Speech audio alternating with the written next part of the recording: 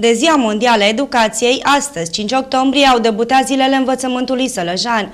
Primii care au fost în atenția acestei sărbători au fost cei peste 60 de elevi care au obținut performanțe la Olimpiadele Școlare Naționale și Internaționale.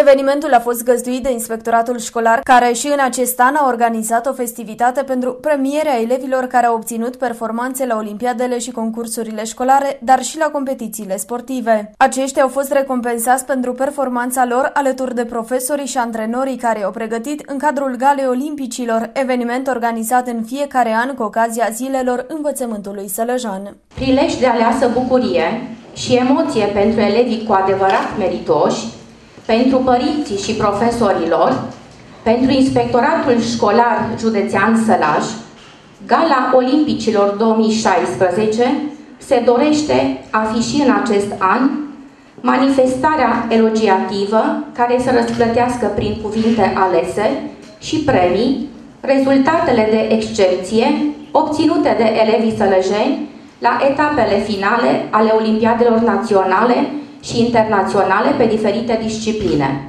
Fondurile necesare premierii au fost asigurate de Consiliul Județean Sălaș și Primăria Municipiului Zalău. Prezent la eveniment, primarul Ionel Ciunt i-a felicitat pe olimpici pentru performanțele obținute. Eu vă felicit și pe voi, dragi elevi, și pe dumneavoastră, domnilor, doamnelor și domnilor profesori și uh, vă doresc să aveți rezultate cât mai bune, să fiți sănătoși și poate că o să ajungem fiecare dintre noi și fiecare dintre dumneavoastră la un moment în care societatea să vă poată uh, răsplăti așa cum o meritați. Felicitări și multă sănătate! Peste 60 de elevi olimpici, la atât se ridică numărul celor care au reușit să aducă performanța școlară pe o treaptă superioară, remarcându-se la nivel național și internațional. Seria premierilor a fost deschisă de eleva Colegiului Național Silvania Diana Nedelcu, cea care a obținut premiul întâi la Olimpiada Internațională de Lectură,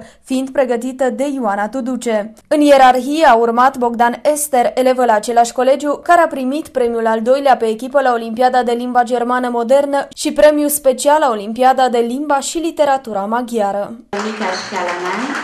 profesor pregătitor Tătăș Dorotea, aceeași elevă a obținut premiul 3 pe echipă la faza națională a Olimpiadei de Limba Germană Modernă, profesor Simon Amalia.